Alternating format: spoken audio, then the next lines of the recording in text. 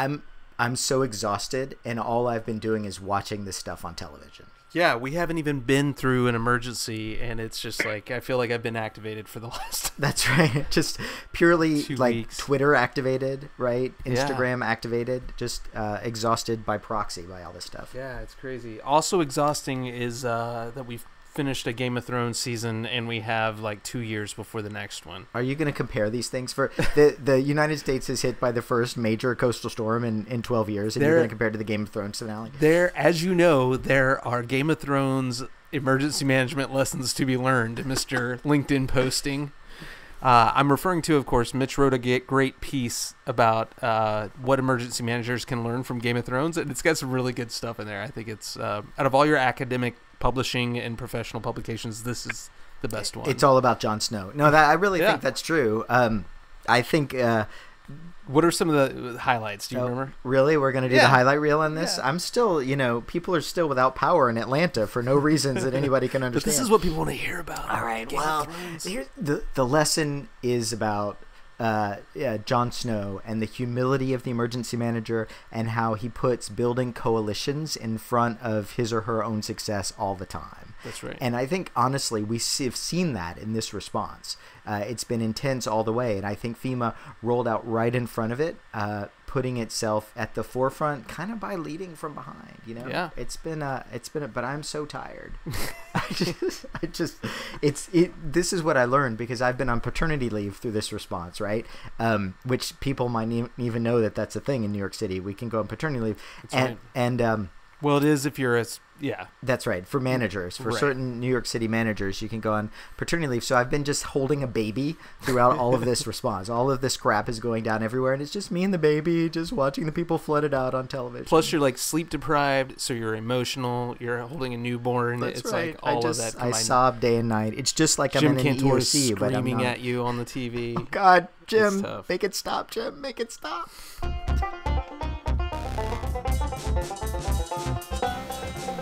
Just Jim Cantore scream. I don't know. the wind screams as it wraps around Jim Cantore.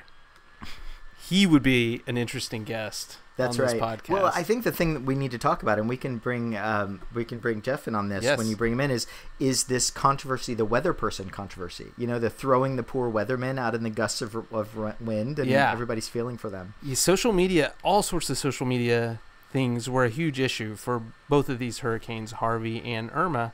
And I saw a lot of people make note of the fact that that uh, social media wasn't really around for Katrina. And the last time we had major hurricanes hit. But before we jump into the I know, discussion, there's just so much to talk about. Like we just want to start doing. what it. if we like forgot Jeff was That's on the line? It's, like 45 minutes later. Jeff's We're like, like, oh my god. Speak. Uh, so let me introduce our guest. Uh, we're very excited to have Jeff on. Uh, not only does he run an incredible emergency management podcast called Disaster Politics, he uh, helps run an amazing center, the National Center for Disaster Preparedness at Columbia University. He's the deputy director. He has tons of expertise in areas like public health preparedness, community resilience, integration of private and public sector capabilities. So these are all things that uh, that touched, you know, that were affected in in Harvey and Irma. Uh, some of the topics of his past work include developing inter-organizational processes for operational epidemiological modeling, Say that three times fast. evacuation and sheltering, medical dependencies, and adapting business intelligence systems for disaster response and recovery, which is something that's applicable to every single emergency management agency out there. He's advised leaders all across uh, local, state, federal, international organizations. I briefed conve- congressional staff. I've seen him on TV recently. He just came back from Texas. So, Jeff, welcome to the podcast. Shut up. Hey, thanks, guys. Long time listener, first time caller. I'm psyched to be here. yeah, we should also mention I- I've known Jeff, gosh, 10, uh, almost, yeah, 10 years 40, now. 50 Yeah. years. We're just we're old Has it geezers. really? Yeah. It's been so long. It's been a long time. So I'm excited to talk to you about some of these things. And I want to give to, to everybody because a lot of our listeners are, um, you know, hardcore emergency managers. And as soon as you say somebody's from Columbia University, it's like that old um, salsa commercial. Do you know when somebody's like, New York City, get a Yeah. rope? Do you remember that commercial? Oh, yeah. 'cause Yeah, you're I actually I, I used I used that in sort of our prep meetings before we went down into Texas to be very sensitive to yeah. the Pace Picante effect. Yeah, I want to hear how your how you did introduce yourself when you went went down there. But first, I guess Let me finish. The, Oh, the sorry. end of the sentence was, Oh, yeah, but I think Jeff has real props and real things to say about emergency management. absolutely Picante sauce and all. he's the best kind of academic in that he backs it up with a ton of real world experience and uh, know how. So we're excited to have you, Jeff. And I'm I'm just curious, starting off, how did you get involved in emergency response world, emergency management world? Yeah, you know that's uh, um, an interesting question that I'm not entirely sure I know the answer to, but I'll try and come up with one. Um, so, uh, you know, I um, uh, was involved with uh, public health. I did my my master's degree in public health and po- health policy and management, and really kind of focused on two areas. And it was international health, which I was really interested in, and uh, bioterrorism, which was post 9/11, and so that was. Um, a topic that people were concerned with. So I did a lot of studies on that, which actually turned into an internship before I had even graduated with the Boston Public Health Commission, and um, ended up in my last semester taking on a full-time planning position with them. And this is in the glory days of uh, you know 2004 when funding was at its peak. Yeah, so the city's money. readiness initiative. Yeah, yeah, and we were fighting over just the stupidest crap, like which positions belonged where and ICS and everything. We were swimming Um, in So swimming pools of gold yeah. coins. Yeah, yeah, yeah, and you didn't have to get along with emergency management because you had your public health money, and so it was anyway. It was, um, uh, but at the same time, there was so much going on, and there was so much opportunity. It was also, I mean, as an intern, I was able to to back up EMS and the Unified Command Center for the Democratic National Convention in 2004, which was one of the first special national special security events post 9/11. So it's just a lot of it was timing and just being at the intersection of some really important things happening when there was a lot going on, um, and uh, you know, really just just um, being in the right place at the right time and being able to work with some amazing people. And so, you know, sort of got my chops in public health as a planner, and then spent some time as an epidemiologist and developing plans for the communicable disease control division there. Moved over to Yale and sort of worked both inward, looking at the health system, and outward in more of a quasi consulting environment. And now, now at Columbia, in kind of this. Uh, uh, academic-based think tank where you know we're trying to take the best research that's available, but apply it to contemporary policy issues and practical issues, so that the best science is actually having an impact on the work that we're facing in the field, and not just sort of going on the shelf and, and helping someone get tenure status. And you see that that's a need, right? As you go out and visit these emergency management agencies, that um, that people are, are looking for. You know, often so busy dealing with the day-to-day emergencies, it's hard to know what the latest science and data is out there. So you're helping connect that research and science to the emergency management agencies, right? Yeah, and absolutely. And as you look across the different sectors, I mean, we speak different languages. The way we present data, the way we process it, the way we talk among our peers in academia is very different than the way we present information and value it and work with it in the practice fields and in the policy fields. And so we'll sort of take the best research. Sometimes we conduct it, sometimes we're using other people's research and try to apply that to uh, whether it's a training course that we're developing or more of a consulting gig where we're helping to develop a product for uh, an agency and on the policy side and through some of our media where we're pushing you know funding issues and talking about the practical impacts and and the research that backs it up uh, and as well as doing you know briefings on the hill and some of the advisory roles and things like that. So really being able to translate across the different sectors i think is is what differentiates our center. And, and is a big reason on why I, I even consider taking a position in academia. No disrespect to academia. It's just these are these are the ones that um, you know I'm I tend to be more more impact oriented. So, Yeah. so Uh, that, that that's all awesome, but I, I want to ask the really important question that I've I gotta ask, which is, what the frickin' Sam Hill just happened to us? Like the past few weeks, like what is going on? My my thirteen year old thinks it's the end of the world. So is this the end of the world? Jeff Schlegelmilch from Columbia University. Well, you know I don't want to jump to conclusions, but I was uh, going to the store earlier and there was this guy on a horse, So I'm Were there saying. four of them? Were there, Um, was it just one horse? Because it's important how many horses I- there are. Were they yeah, made of I just ice? saw the one, but yeah, yeah, yeah. No, I mean, I I think that that there's um, we've been in a lull for a while, right? We haven't had a lot of coastal storms for uh, quite a while, even though we've had some hurricane seasons that have been predicted to be more severe than others. So I think that there is something just about the random confluence of events that occurs. There are a lot of questions too about, of course, climate change is coming up a lot. And, uh, you know, obviously, uh, you know, we're seeing more extreme events for a variety of reasons. And then, you know, we're, and, and so, you know, that debate is sort of raging at, the, this time with all of that as well, too.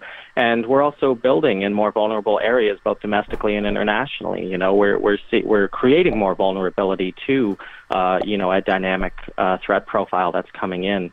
And so I think all of these things come together. And of course, we're seeing more coverage of it. We're seeing more amplifiers of this coverage when it's happening. You know, social media is really democratizing the um, presentation of this uh, globally and all these things going on. So, you know, I, I think it's it's definitely definitely a unique time, and I think it's a, a perfect storm, no pun intended, of all these different factors sort of coming together in a relatively short time frame. So then let's let's talk Harvey. All right. So you just came back Yeah. from Texas. So this was sort of the beginning of this. I mean, not the beginning, right? Let's set some context. We have these massive fires happening out in the west. We have floods in in India, um, and then Harvey happens. First uh, major hurricane since since Wilma in 2005 uh, comes in on August the 26th. So it hits Rockport first, then of course there's the Houston thing. Can you talk about some of what you saw when you went down to the Harvey response and, and some of the, the things you were thinking about the, the Texas response to that storm?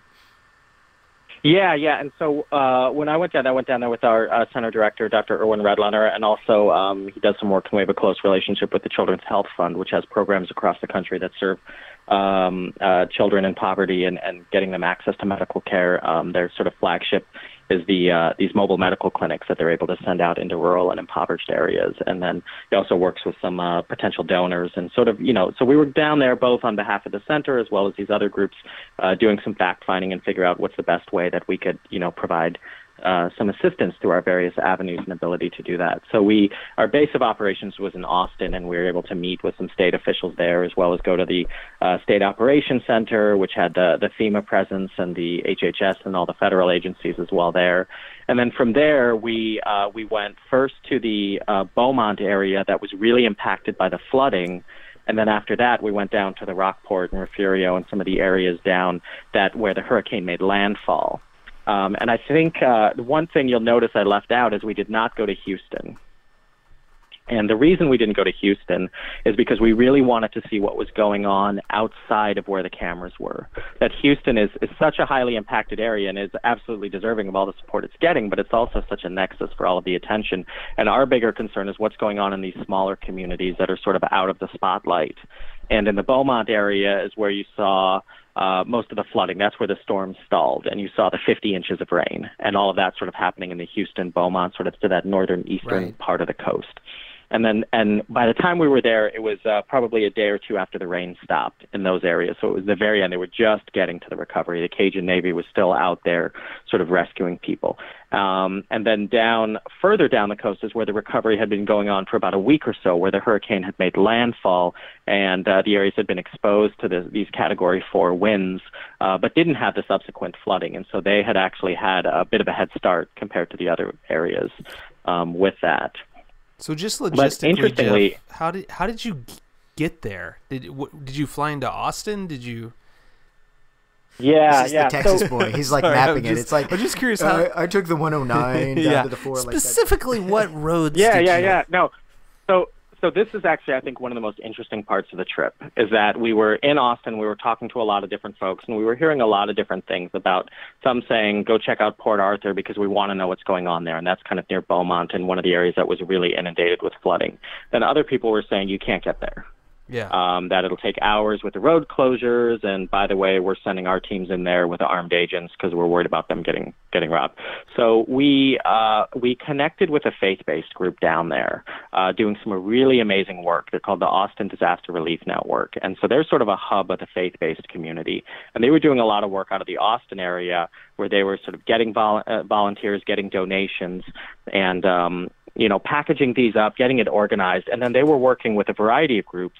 And the other one we connected with, uh, company. Um, the woman running a company called Charlie Bravo, uh, which deals with you know selling used aircraft and things like that, but also works with this Angel Flight Network. And what it essentially is is that in the affected areas, even though the roads were closed, there were uh, uh, in the neighborhood of 50 municipal airports that were open and accessible. Oh wow! And they had a network of over a hundred pilots who were willing to volunteer their aircraft and volunteer their time. So they were airlifting stuff to all of these different sites across Texas, and it was ranging from single-engine planes to C-130s. There was like a a uh, restored World War II aircraft that you know looked like it was for an air show, and I was looking over there, and they were loading it up with supplies to fly down there. the and Texas so Confederate when we Guard. went. Yeah, yeah. So we ended up in this uh, this hangar where they were staging all these materials and getting them ready for the aircraft, and then this uh, wealth manager um, had a, a jet that he had bought for his company and was volunteering his time and his fuel to help shuttle some of the the groups back and forth down to Beaumont. So we hitched a ride on his airplane, and he took us down there, and then we we met with some of the groups down there that were distributing aid all through the faith-based community. It was another it was a it was a church that was setting up distribution and they had all of these volunteers who themselves had lost their homes and were putting together these kits that were, you know, included basic food, water, hygiene supplies, things like that. And as people drove through, they'd load it into their cars, all just incredibly well organized. Um, and they were able to actually reach a lot of these areas um, either before or in supplement to the federal teams that were deployed. So really creating this genuine uh, whole community approach.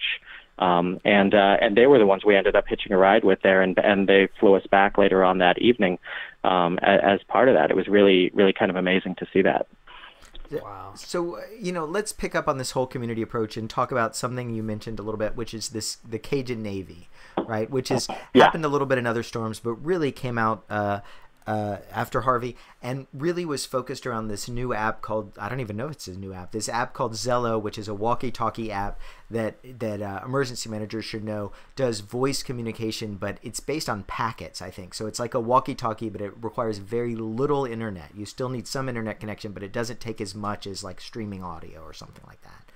Um, and and the the story I read, which everybody should read, which is in the Houston Chronicle, is about this woman, uh, Holly Hartman, who was just listening on Zello uh, to folks who were who were making pleas for help, who couldn't reach their 911 centers. They were just calling out on that, and she volunteered as a dispatcher and worked for 35 hours and helped to organize uh, Cajun Navy pickups. And then some some folks died, some folks were rescued. But but the question I have is this whole community approach. Did you see other ways that this could be organized on the fly like that? You know, was the Cajun Navy effective from your point of view, or is this the kind of stuff that the professionals do better? You know, these guys should should kind of back off.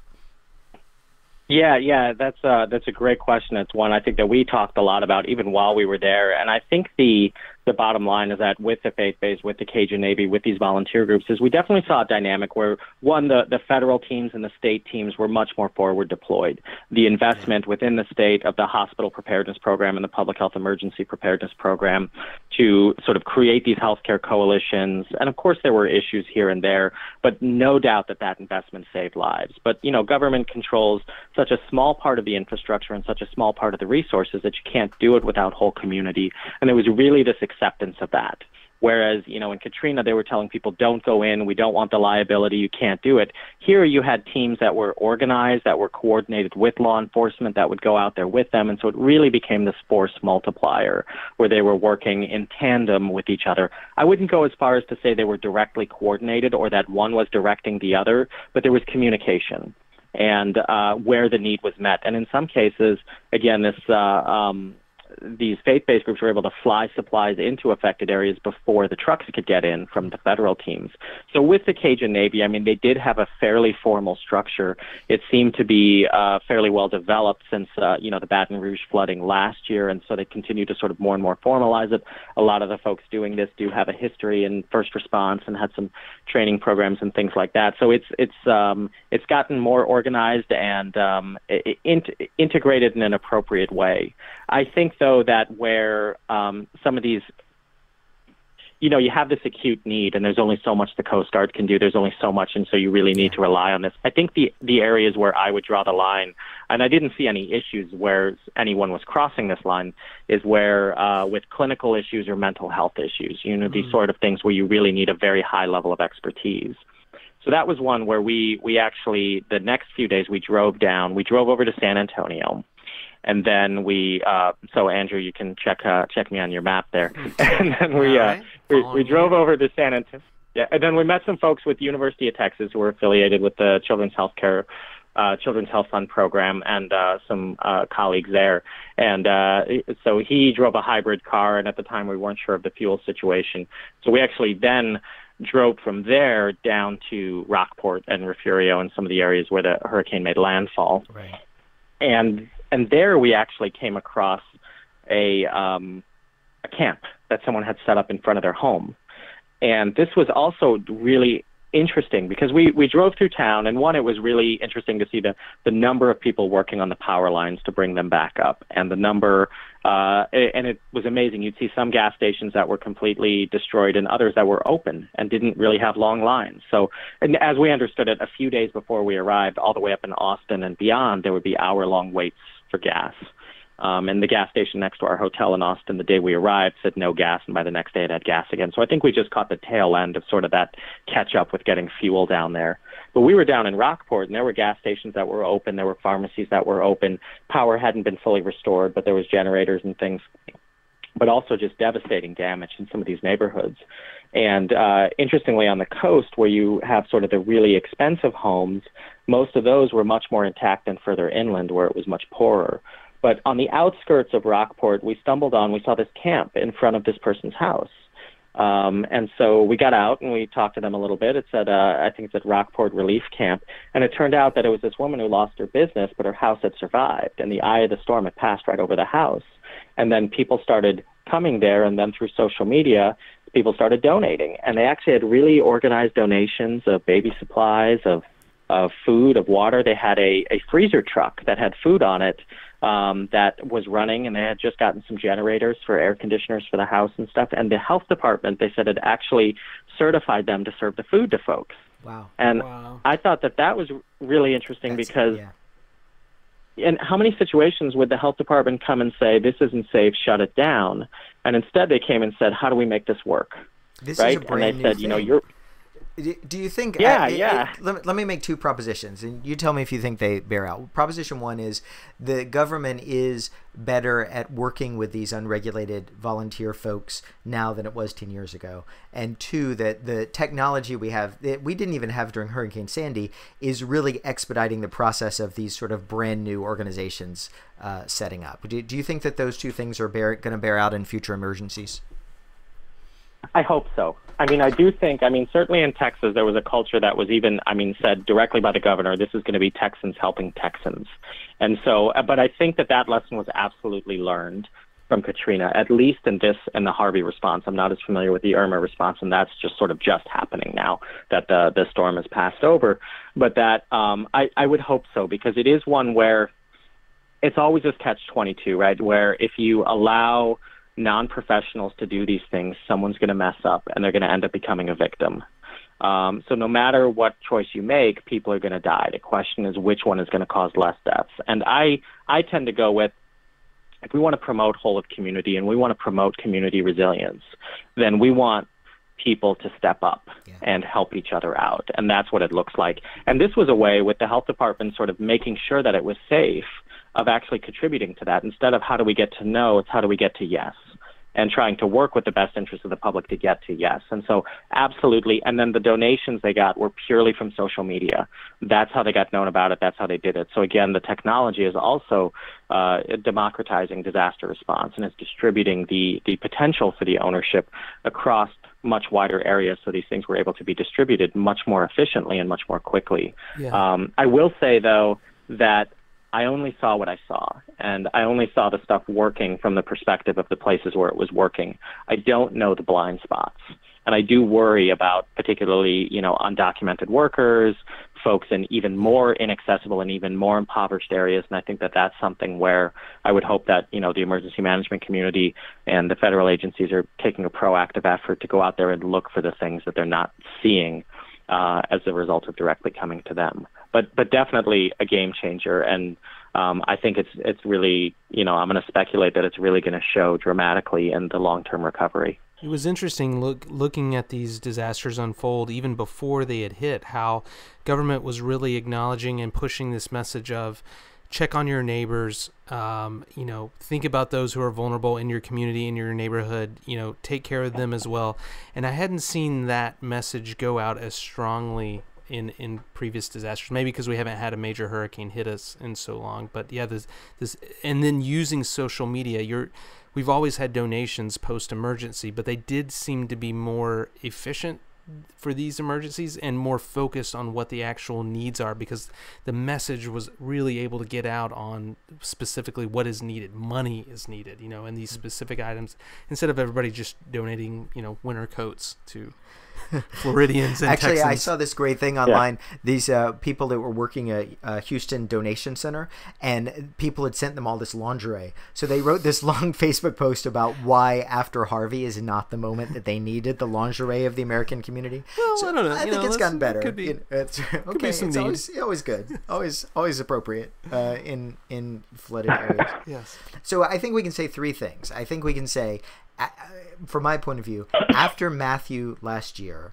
whole community, I think, finally sold through government. I think people saw it working. It's been pushed for a long time, but it really worked. So I think we saw politicians across the country take up whole community. People really rolled for pre-positioning. Like I think people were much more uh, eager Yeah. to have pre-positioning happening in work. Governors were much more willing to do pre-disaster declarations. Those things were signed fast. That's right. all all over Yeah. the place. It was happening. Just crazy things. And people were much more willing to let federal assets into state EOCs, state assets into local EOCs. People were much more willing to liaise, I think, to have Yeah. liaison officers all over the place than they have been before. Yep. Yeah, yeah, and I think that there's also this acceptance, and and I'm going to be a little controversial here and say that this didn't oh, really no, start to happen great, until, yeah. until budgets started to get cut. Yeah. Is where you know folks started to realize we can't do it all.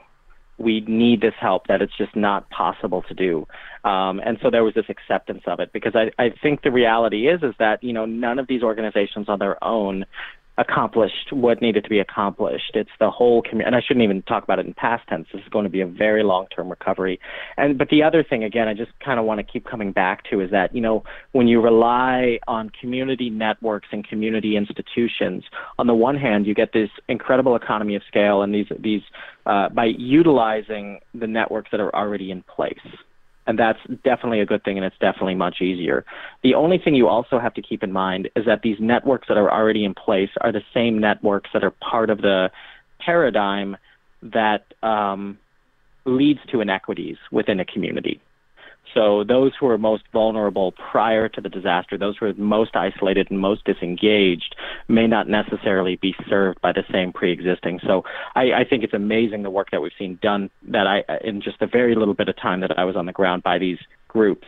And I don't want to take anything away from that, but I also, like I said, just always want to come back to um, who are the ones who aren't comfortable going there, who are the ones who are not engaged, who are the ones that are being left out, because that's the tragedy that we really saw in Katrina, um, and even in parts of Sandy, as those who were most Yeah. socially isolated, those who were most disengaged and disenfranchised, um, and um, uh, Let me just hit Yeah. hit that back at you without using a fancy word like paradigm, uh, Mr. Academia, which is you, you know these Sorry. guys that are that are spinning up these networks. They're people with resources, right? They got money, they've got stuff, they can stand up. They have existing social networks of different kinds, and we so we can argue both that they're um, establishment, and I think I, I'm just going to be a little more clear in that they're usually not people of color or folks of color that are that are have been impacted by other kind of structures of of, of inequity over time. So so I guess the argument would be that the government then it's important that they focus their resources on those pockets of real vulnerability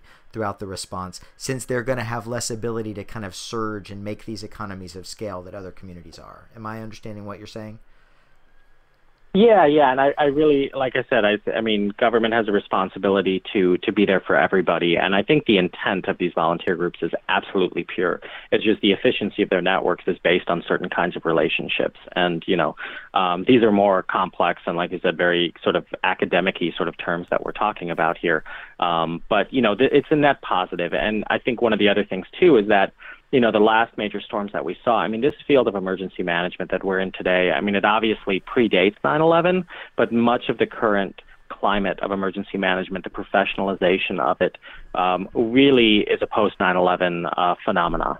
And so that means that you know Katrina happened between 9/11 and now. Katrina happened like like it was less than halfway to the age that it is today.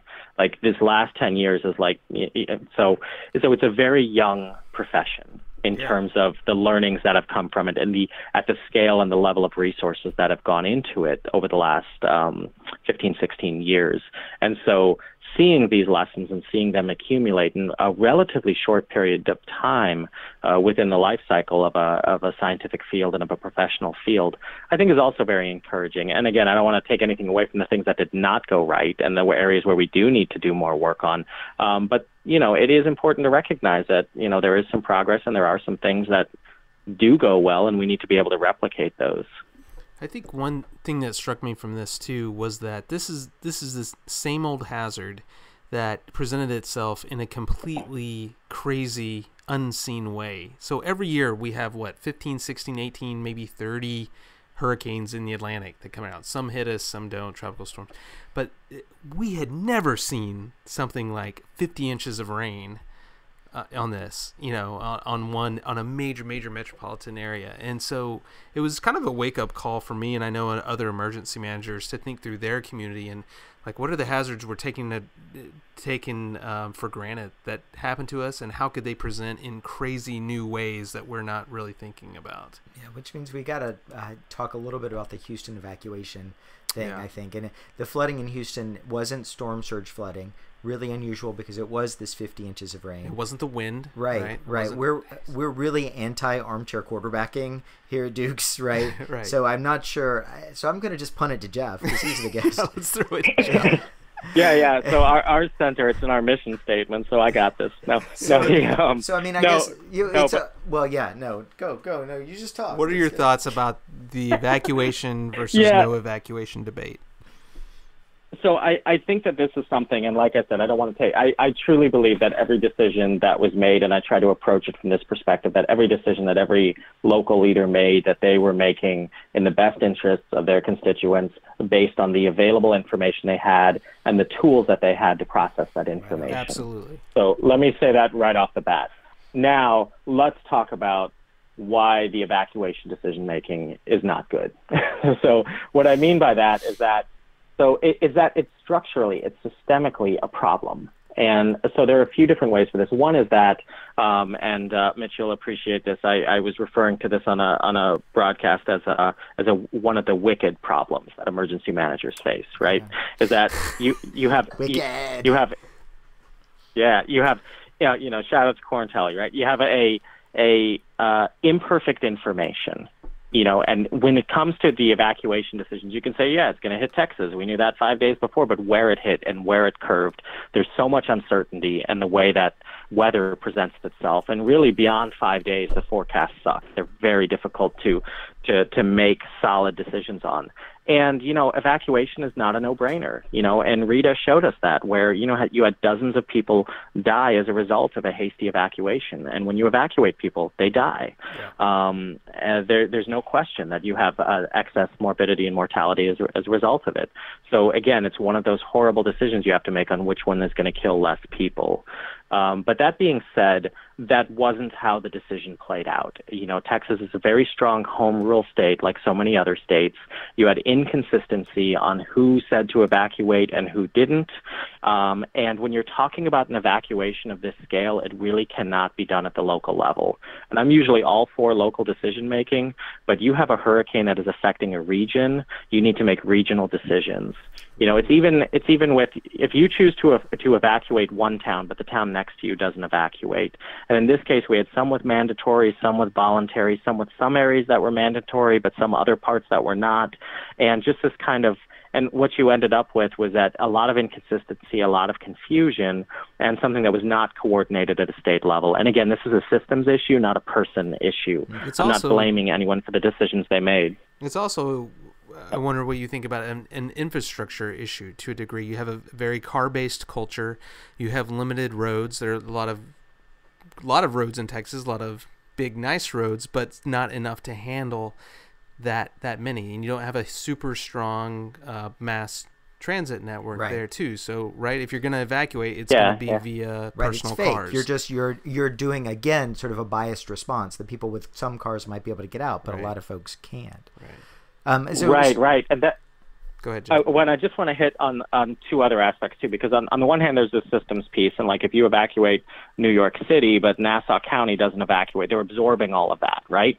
Or, or if you know, you know, the the New Jersey keeps cars coming into New York, but everyone is coming out. So it's kind of the same thing there. Is that once you have an evacuation, you then have to manage the systems to evacuate. And like you're saying, you have to be able to move people who are going to move themselves and get to people who can't move themselves, who don't have cars and who have that. And that is a tremendous logistical requirement that's very, very difficult to solve. And then you have to do it all, and if you're lucky, 72 hours. right. And then the third the and then the third piece is that information support. Is that it is is again you have very imprecise information, and this comes to you know the uncertainty that it presents. Is that you need to make a decision before you have enough information to actually make that decision. And so what I say there too, and this is the fault of of people like us in academia, is that we have not done a good job of establishing an evidence base and establishing the tools that could then lead to more practical tools, more policy tools to help support local uh, authorities and statewide authorities in making that decision in the face of uncertainty. And I think that that's really needs to be the next frontier in the way that in academia we support this kind of evacuation research is how do we help get better tools for evaluation and better tools for the management of uncertainty for this so that, um, that so that uh, the authorities have better tools and better decision making at their disposal. It's kind of sad for the Cowboys. You know, the Cowboys just like to stand in the OC and be like, "I got this. We're just gonna," you know.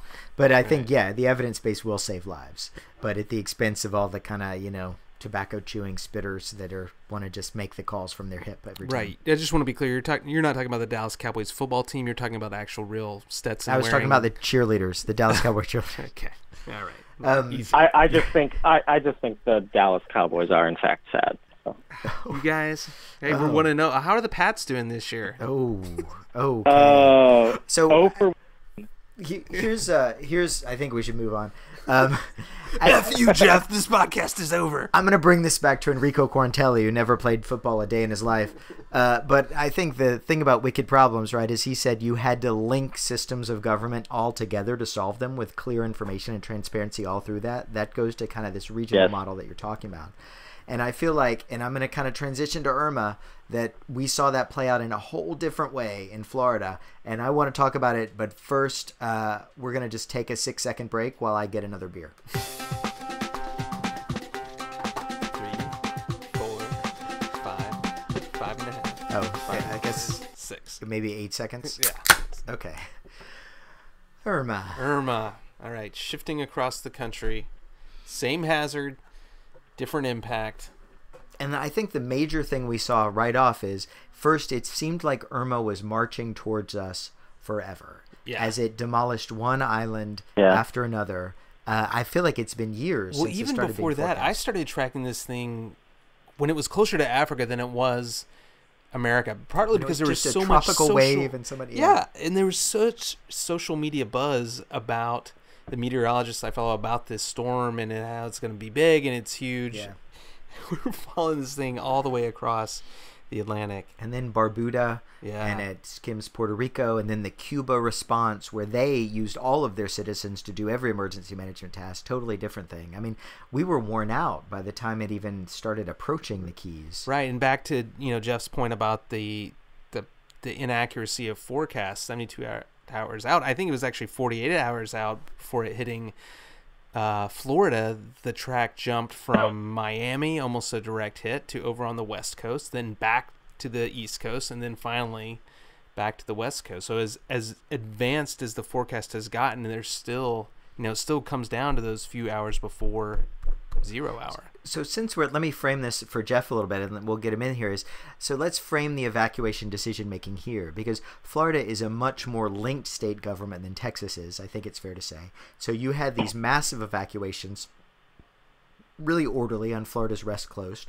Then slightly more chaotic evacuations on the East Coast as people added mandatory evacuations south of Tampa into Naples because of that switch in the storm. So you had massive road clogs. It was taking 12 hours to go 300, 360 miles. People driving to Charleston was taking them days. No hotel rooms. People were running out of water. Gas, gas shortages happening. So so I guess again, let's look at the eva- the decision making around that evacuation. And so, um, oh, academic who can you know just armchair quarterback things. How do you feel like Florida did in that situation?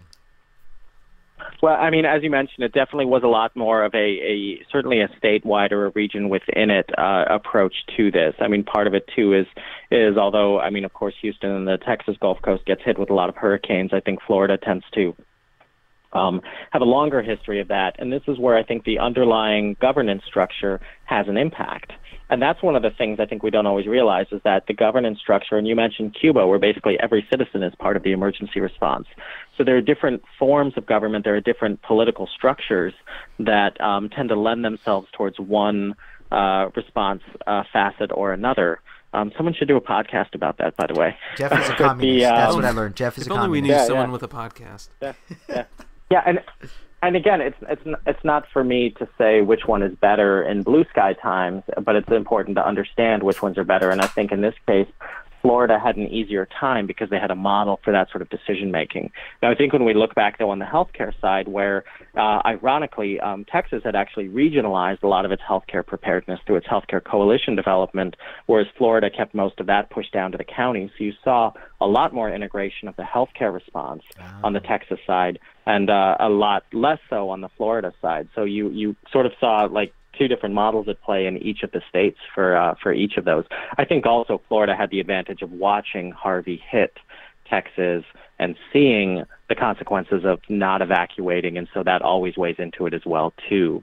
Um, and again, it's like I said. I mean, I don't blame anyone for the decisions that they made. It is a, an incredibly difficult problem to do, and um, and as you said, I mean, it was just. Um, very shortly before landfall that the that the track of the storm shifted and was coming up the west coast of Florida rather than the east coast.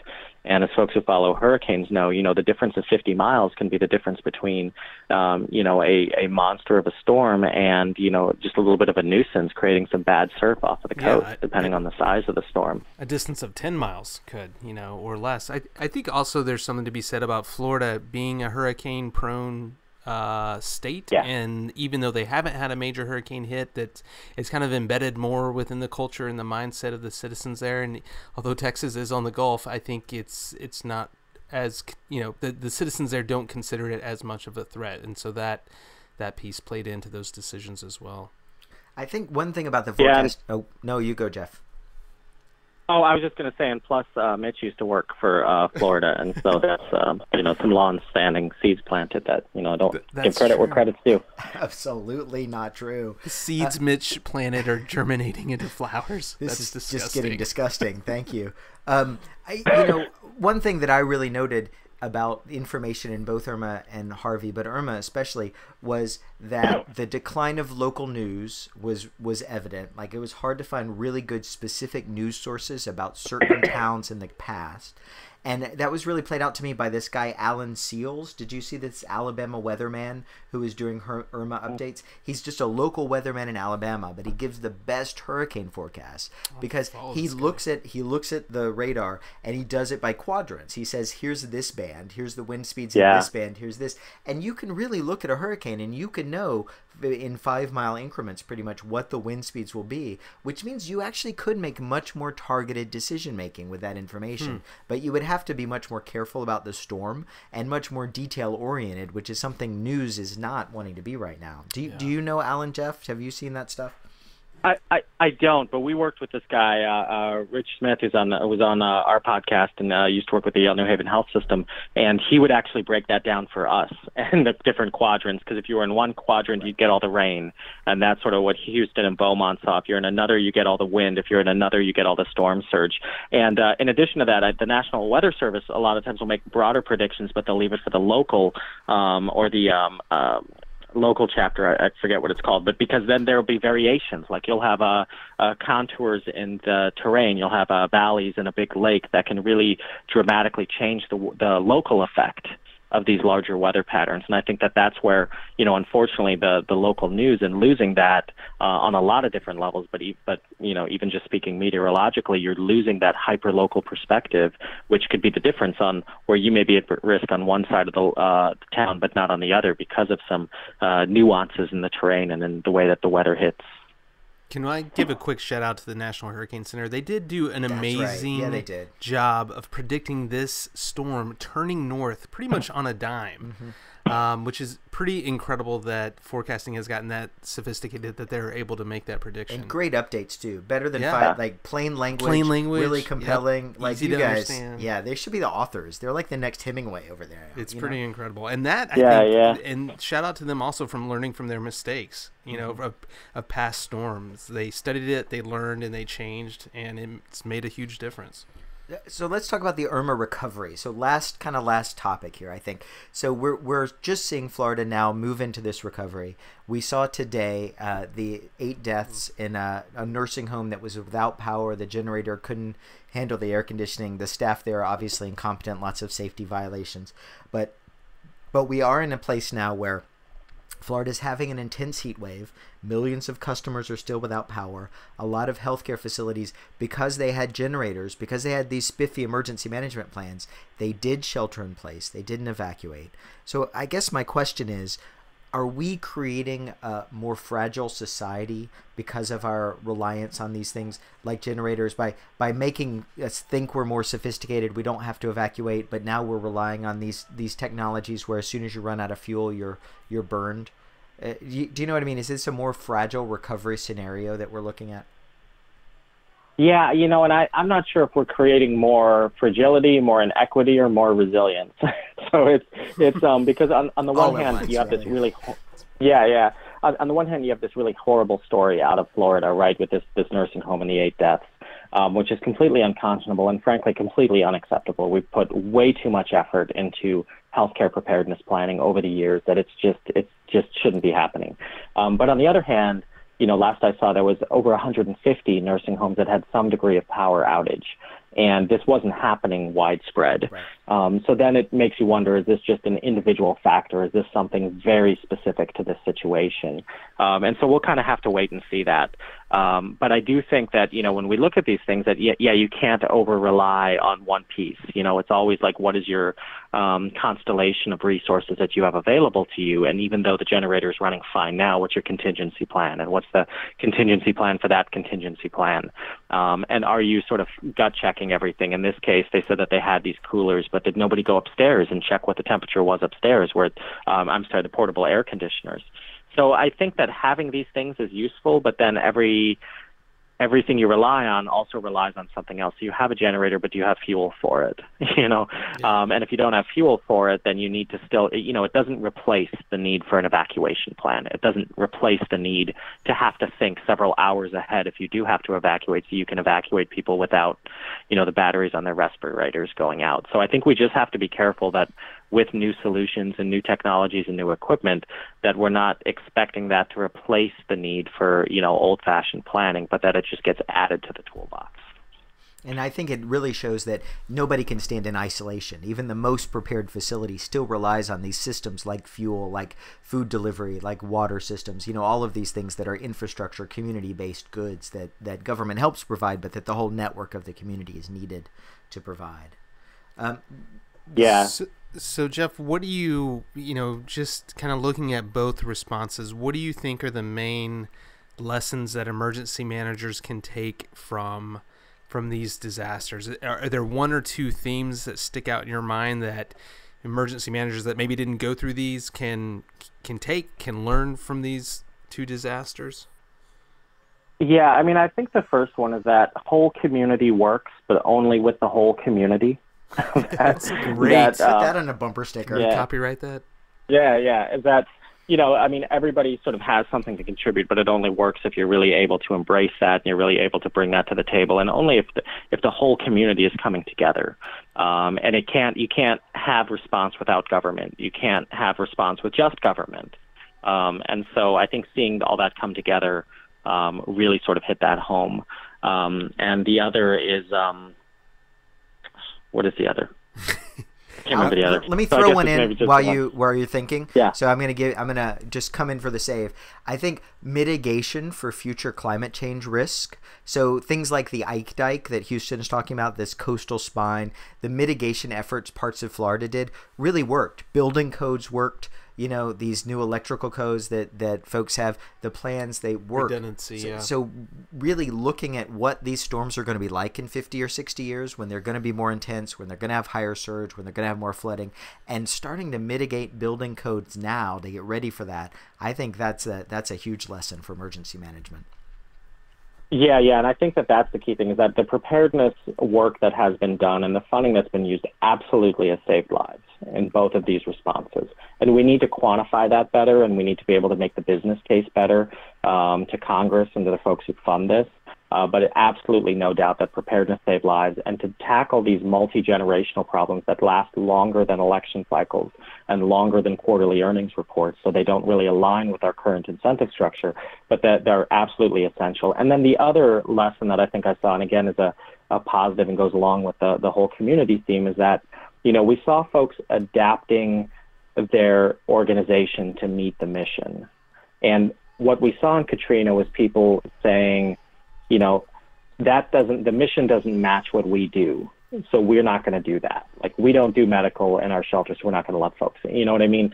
And you can't do that. You you can't have your organization be so rigid that it can't adapt to the mission. It- your organization needs to evolve with the mission. And i think we're seeing that. And i think we're seeing uh, it comes down to people. We're just seeing seasoned emergency managers on the Health and Human Services side, on the FEMA side, on the state and local side, and even uh, within these sort of emergent organizations, just highly organized people who know what needs to be done and how to do it right and how to leverage relationships. And so um, that's something that should really be carried forward as well too. Is that it can't be so procedure based that it can't adapt to an evolving mission. I a really, I really like your uh, your analogy about the professionalization of emergency management, how it started in 9/11, 2001. So by that analogy, emergency management is now like an angry teenager it's like just getting ready to apply for college. You know, yeah. so it's a little bit, you know, first for our first few years, we were like little toddlers. We were saying yes to everything and bumping into things, and and now we're kind Yeah. of getting rigid, you know, because we want it to be our way all the time. Kind of, and also kind of bucking the system, Yeah. the Yeah. traditions of the past. That's and- right. That's right. But now we got to grow up. We got to go to college. We got to right. do things the responsible way. And uh, and Got that an means, 8 a.m. class That's coming right. up. we can push this Yeah, analogy yeah. so far, but we got to get ourselves to yes, and we can't just keep saying no to everything. That's right. Yeah, yeah, and I think that that's where I would almost say that we were in our tur- maybe we're in dog years because our turbulent adolescent years were probably in Katrina, where there was so much like um, it was so much about doctrine rather than impact, and we're really getting past that, and we're really sort of getting uh, into a place where there is just a much richer understanding. There's a lot more dialogue across sectors, and again, this isn't to say that it's all figured out. There's an incredible amount to, to do and a long way to go, um, but we've also come a long way, and I don't think I don't think we should be ashamed of that. Absolutely. All right, Jeff. Well, thank you so much for coming on. We, if you have time, if you have two seconds, we'd like to do what we call the lightning round with you. So, so I have wanted to be on this podcast for like two years, and I've been practicing the lightning round. I Oh, started no, my own we're gonna- we podcast. gotta We're gonna mix up to the Not to questions. get questions. your attention. Oh man, So- we might have to throw in a few So zingers. there's no way in hell I am hanging up until you put me through the lightning round. Okay, well here we go. All right. First up, what is your favorite hazard? Dirty bomb. Oh yeah, that's Solid. a new one. Solid that's right. answer. Yeah. That's good. And speaking of, er, er, we're I, I just want to know. Oh, I was gonna er, say- yo, yo, go. Go, yeah. oh, because we're the problem with with the with the dirty bomb. We're the problem. Yeah, But uh, true. y- your boss, Irwin Redlener, is going to be on Jimmy Kimmel uh, tonight. So that's the September 13th, uh, 2017 episode talking about nuke attacks. Whole different thing than, than Dirty Bomb. But And apparently. Jimmy Kimmel is really into nuclear attacks He's and probably into preparedness. Dirty Bombs too. Jimmy Kimmel and Dirty Bombs. That's Yeah, two it great goes tastes that go great together. Maybe we can get Jimmy Kimmel. on it. That's right, Yeah. just to talk about Dirty Bombs. yeah. Yes. All right, uh, what's the hazard that scares you the most? Uh, rabies. No, it's great. That's is true, terrifying. says It's the freaking- public health professional. I, I know that's very specific, but it's just, you know, after, you know, even though it's one of the first vaccines, you get it and you start having symptoms before you know you have it, and that's it. And Yeah. it's just a nasty way to go. And I remember growing up always hearing that the the remedy for it was like 50 shots in your stomach Yeah. with a long needle. I don't know if that's true or not, but growing They up just did that for fun in, in Texas. Yeah. Georgia, Georgia too. We had a rabid squirrel in Prospect Park. Good good times. Good That's true. That's true. Yeah, yeah. It it is seriously terrifying. When I was in Epi, that was one of the only only diseases that really scare more than Ebola. I'd rather have Ebola. Jeff Schlegelmilch rather have Ebola than I mean rather Yeah, have yeah. yeah Ebola than rabies. All right. Uh, what was the first disaster you remember? Uh, probably the Loma Prieta earthquake. I was out living out in California at the time. Yeah. It's a good one. So That's how many classic. like what categories of disasters have you actually physically been through? Uh, ooh, geez. Oh, geez, this is a wild card. Yeah. Um, I guess uh, earthquake, hurricane. Um, I guess maybe more tropical storm when it made landfall. Um, tornado. Whoa. That's a good Um, yeah. Does uh does solar flare count? Solar storm.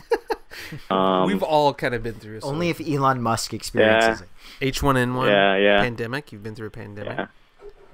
Yeah. Okay. What- A- and and the series finale of the X Files when the first series ended. That was a rough one. Oh, That that was was, a hard. That was tough. What was the first major Yeah. disaster you worked on? Um, so I, I don't know if it was a major disaster. The first ICS activation we did and was right after we built it were for some Hep A outbreaks in Boston. Um, and so we saw it really ramped up for that. And so although it wasn't, we sort of used it as a test case uh, for one where we had to sort of rapidly set up these um, um, uh, you know, mass prophylaxis sites in a very short period of time. But I would actually, um, in terms of major disaster, um, you know, I did a lot of work around H1N1 uh, when that hit, and uh, around Sandy, um, I led the, the System Information Resource Center, which is sort of like a fusion cell for the New Haven Health System that, that our office stood up at the time, and our, our key leadership was overseas, but calling in uh, for each of the meetings, and that was um, that was a, actually a good experience working with some really incredible people. Wow. So so from the outside, it appears you've had a few amazing jobs in emergency management. Currently, you have a pretty incredible job that sends you to far and wild places like Texas. But I'm just curious, what what's your dream emergency management job? Um, well, definitely a featured guest on the uh, Dukes of Hazards podcast. nice, nice. Uh, oh, this doesn't pay. yeah, Did we not right. tell you that? Oh yeah, sorry, this is an unpaid oh, God. internship. It's really awkward. All right, what's your favorite Yeah. disaster movie? so it's not a movie per se, but season one of Jericho. Oh, yeah. Oh, all right. That's a smart choice. Yeah. Yeah, just on the movie front, I got to ask Andrew this: Are people allowed to dance in Beaumont now? Be- because uh, you know, in Footloose they couldn't, and and I just want to make sure they can now. Because having gone through Harvey, it'd be really I'm- sad I'm- if they couldn't. Yeah, yeah, I'm pretty sure that's been uh, Okay. Okay. okayed so it's now, now. it's, It's a now regulation okay that you can. dance, okay. yeah. All right. All right, uh, Jeff. What is what's the uh, the worst ICS position? Oh, the Best worst and worst, I should position. say. Best and worst. Best and worst. You know, I go back and forth on this a lot because it's usually the same one. Um, but I'm going to say the best is liaison officer. Yeah, that is And, a pretty great one. I'm going to say the worst is probably documentation unit or situation unit because you have to rely on so many other people to get your job done. That's so true. Spoken like a man who's been there. That's, right. good. All right. So, what's your favorite acronym in emergency management? Oh, oh, the FAT list from FEMA. What's the FAT? FAAT. The you don't know the FAT list? It's the Federal Acronyms and Abbreviations and Terminology list. That FAAT. is I love that. It's Yeah. the acronym of acronyms. That's right. So fat, it's got two A's in it.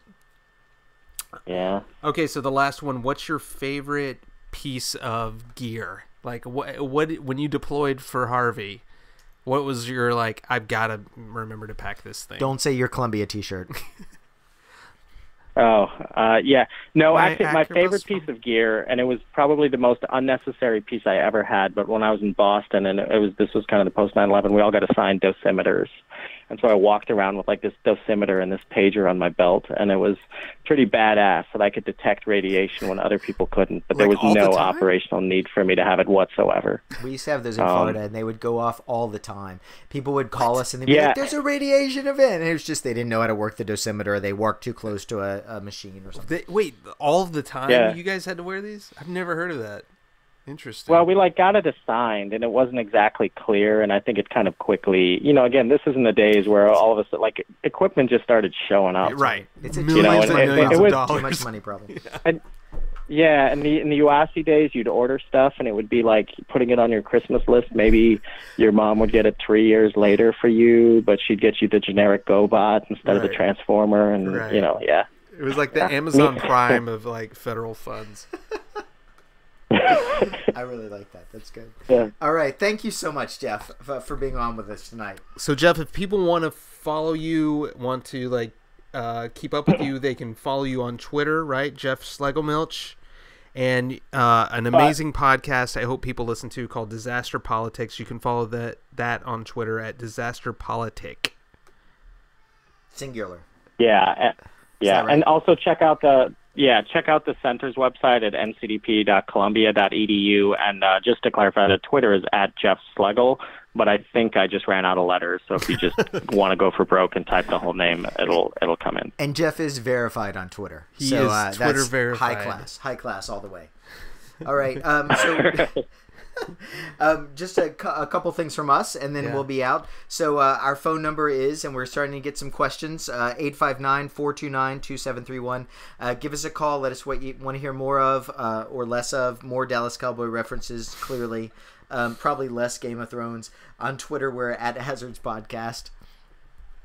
Yeah. Uh, shout out to our Australian listeners. We have a good number of Australian That's right, listeners. man. One of them buttonholed Craig Fugate, and they were like, "We loved you on Dukes of That's Hazzard," right. and that made my year. It was great, Yeah, that was a good time. Yeah. Um, and uh, I, I guess that's it. I, I honestly, and I want to say in all seriousness, if you're out there, you're responding to Harvey, you're responding to Irma, you're, you know, please God, hoping not to respond to Jose, the fires out west, um, anywhere you are. Um, just, you know, thank you so much. Our thoughts and prayers, honestly, are really with you. Keep up the good time. work. That's right.